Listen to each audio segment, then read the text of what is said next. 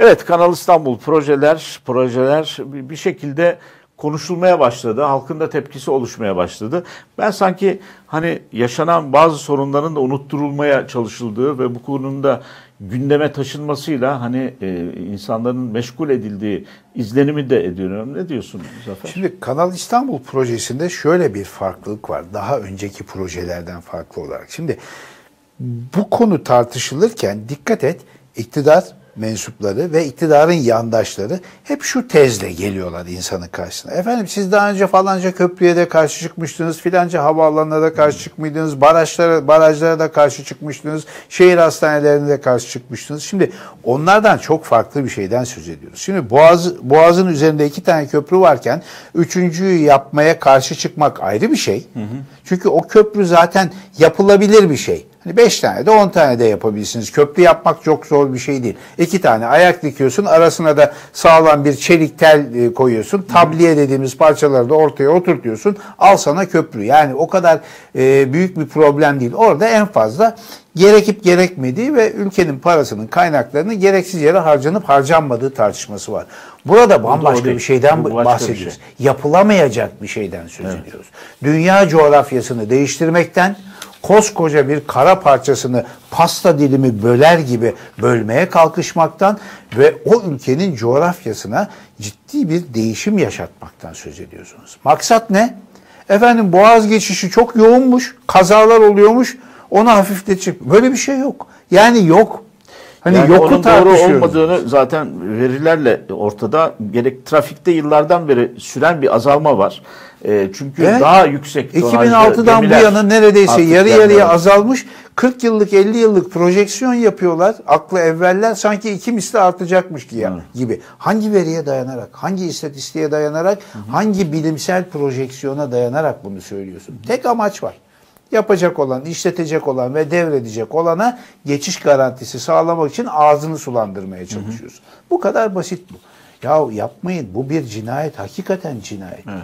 Ülkeyi mahvedeceksiniz. Çok yani e, hem su hem çevre hem e, deprem tetiklemesi e, bu ekolojik büyük bir ekolojik sorun olacak. Başımıza uzmanların hemen hemen hepsi bela söylüyor. açacağız bir de. Evet. Yani Karadeniz, delinmesi... Karadeniz ülkeleriyle tabii, sorun yaşanacak tabii. büyük bir ihtimal. Şimdi Murat Aksoy'a bağlanalım. Ee, Murat Aksoy e, gene gazete pencerede bu konuyla ilgili bir yazı yazdı. Ee, niçin bu kadar heveslisiniz buna diye bir yazı. Murat Aksoy merhaba. Merhaba. Selamlar. Niye böyle bir yazı? Yani niçin hevesliler? Ee, onun cevabını bulabildin mi?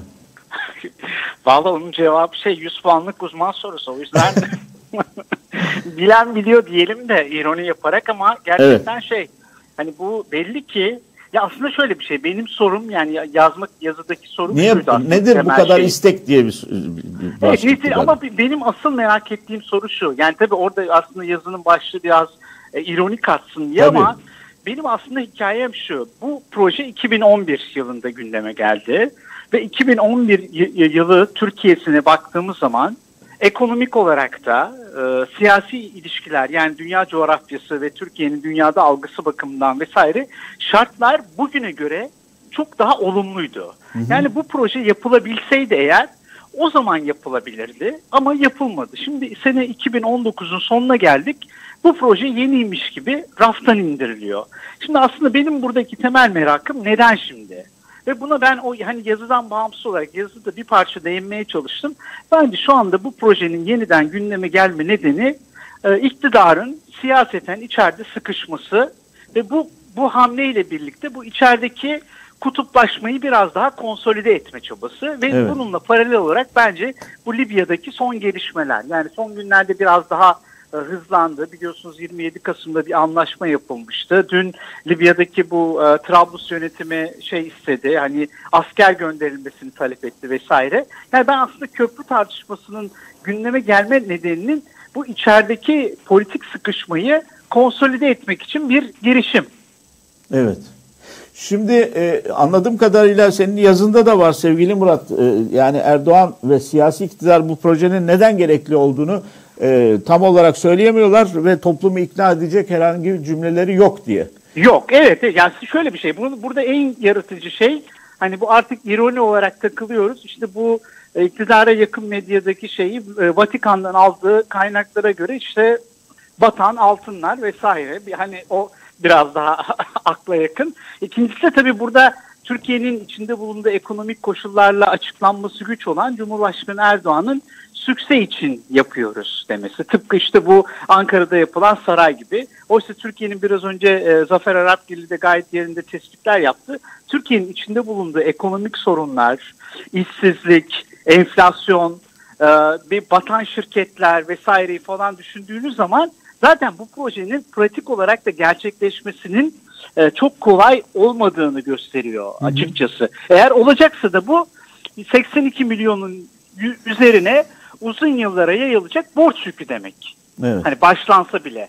Ya dolayısıyla da bugünkü koşullarda böyle bir projeyi eğer kaynak varsa işsizliği azaltmak için, ekonomiyi düzeltmek için, batan şirketleri daha e, optimum ölçüde kurtarmak için kullanmak daha rasyonel. Evet. Ama gerçekten siyasi iktidar bugüne kadar bunun neden yapılması gerektiğini, neden Türkiye'nin böyle bir şeye ihtiyaç olduğu konusunda yani gerçekten şeyler söylemedi. Bir şey sunmadı. Ama evet. Ekrem İmamoğlu bakın o iki gün önce toplantı yaptı.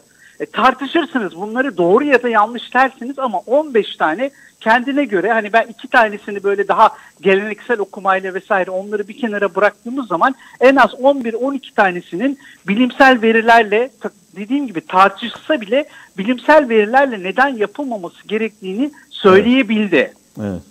Bu bence çok çok önemli tek başına Tabii. bile. Bunun Ama diğer olması yazının başlığıyla de... ilgili de söyleyeyim ben. Evet. Hani şöyle bir şey dediler ki geçenlerde iki hafta önce kadar galiba Çevre Bakanlığı dedi.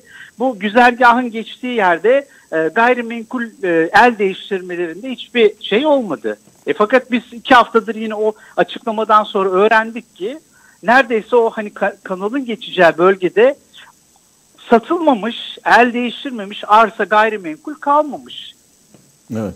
Ve üç alanların büyük, büyük bir kısmında bu en çok yatırım sermayesi, yapan 3 3 e, firmada Arap firmaları olduğu Arap söyleniyor. Fir e ben o Arap firmaların da ne kadar Arap olduğu konusunda ciddi şüphelerim var yani. Evet.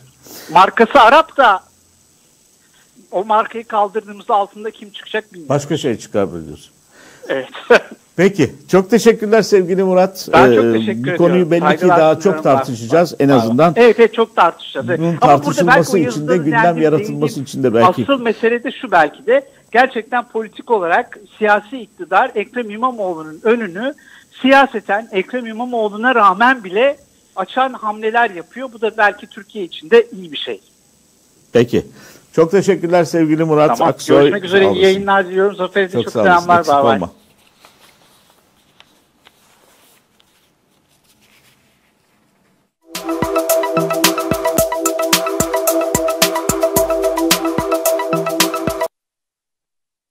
De bu konuyu daha çok konuşacağız belli ki. Çünkü o, o, ekolojik sorunun dışında da tabii bir betonlaşmanın oluşacağı, işte uydu kentlerin orada kurulacak olması, şimdilik 5 2 kent kurulacak, 500 binlik iki kent toplam 1 milyon civarında bir nüfusun o tarafa kayacağı söyleniyor.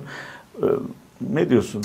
Zafer? Soldan sağa rant, yukarıdan aşağı rant. Başka evet. hiçbir şey yok bunun üzerinde. Yani e, tabii bir takım başka uluslararası stratejik hesaplar ki zaman zaman öyle söylemler hatırlatılıyor. Mesela dün bir televizyon kanalında e, duydum.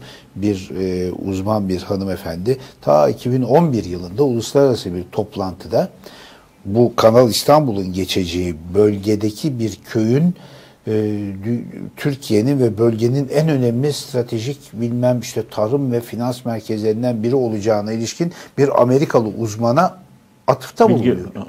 Yani Şimdi, yıllar önce konuşulmuş, bunlar edilmiş şeylerden söz ediliyor. Böyle bir takım hani grand e, ve işte komplo teorisi gibi gözüken hesaplar yoksa ki onlara da inanırım. Yani çünkü dünyayı bir yerlerde oturup e, bazı dönemlerde uluslararası güçler dizayn etmeye meraklıdır. Hı hı. Şey teorilerine yazılmayacağım tabii. Bütün dünyayı üç aile yönetiyor falan vardır ya böyle. O değil. Ama e, tabii ki böyle planlar yapılmış olabilir. Ama işin özü şu. Dünden beri işte e, internette dolaşıma sokulan ve içimizi parçalayan bir takım videolar var. Pazarlama videoları Arap televizyonlarında dönmeye başlamış. İşte oradaki arazilerin satışına filan ilişkin bir takım emlak firmaları, Türk ve yabancı emlak firmaları videolar hazırlıyorlar. E işte daha geçen hafta çıktı ortaya Katar e, şeyhinin annesi Evet. başka birileri. Ekrem İmamoğlu bizzat kayıtlara dayanarak açıkladı. O bölgedeki en önemli toprak alımları 3 e, Arap şahıs ya da firma tarafından hı hı. yönlendirilmiş filan. Ortada belli ki öncelerden bir önceden birilerine tüyolar verilerek bir paylaşma, e, kapışma şeyi var. E, tabii e, bunu hiç kimse böyle uluslararası trafik bilmem ne işte boğaz kazalarının önlenmesi şeylerle Doğru. bize yutturmaz.